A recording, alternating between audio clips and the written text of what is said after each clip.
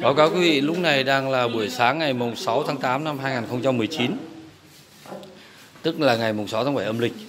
Thì ờ, uh, hôm nay chúng tôi đang chuyển cái mấy cái khẩu súng thần công này ra khỏi nhà Để chuyển đi thiệu hóa.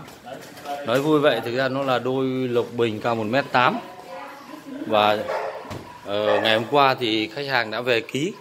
Và hôm nay chúng tôi chuyển đi huyện Thiệu Hóa, Thanh Hóa để tôi xem chi tiết nên là đây hôm qua khách hàng đọc cho tôi cái địa chỉ này. À, đó. Thưa quý vị là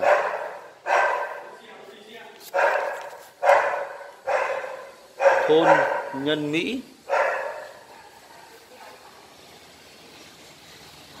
Xã Thiệu Công huyện Thiệu Hóa Thanh Hóa thôn Nhân Mỹ, xã Thiệu Công, huyện Thiệu Hóa, Thanh Hóa.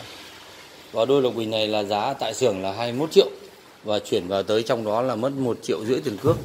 Còn nếu như là chúng tôi đóng gói và chuyển ven quốc lộ 1 chúng tôi chỉ tính 1 triệu thôi. Ở đây thì có các cái xe đẩy rất là tiện. Và các lộc bình này chúng tôi đều làm rỗng. Làm rỗng và chúng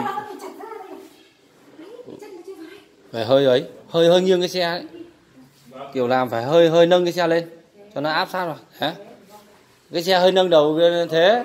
Thế ăn ngay. Đấy. Rồi. Bánh thế nào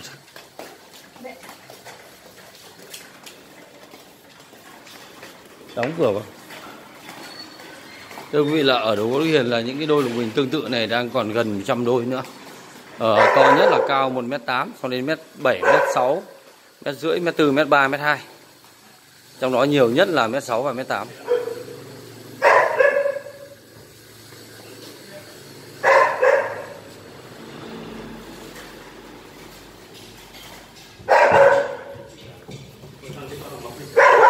Không chỗ này lên luôn. Trang đã. À, à, ừ.